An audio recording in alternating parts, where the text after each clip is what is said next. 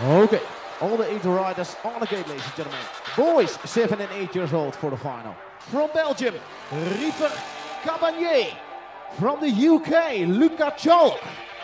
From Holland, Vin Takkekamp. From the Czech Republic, Romy Prochaska. From Latvia, Jakobs Ozels. From Switzerland, Jaron Leiden. From Holland, Mason Schouwman. And from Czechia Republic, Thomas Souček. Okay, good.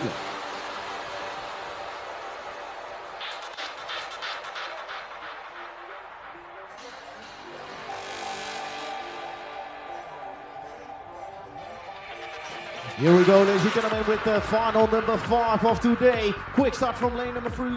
Guy from the Czech Republic from lane number three. It was uh, Souček, I think, racing with the plate number 914. Latvian is inside. It's going to be Jakobs Ozels. And from the outside, Switzerland's coming up. Darren Lyriman coming up for uh, and spot on the podium. He's now up to the second place. Latvia back in three. But all the way at the front from the Czech Republic, Thomas Souček.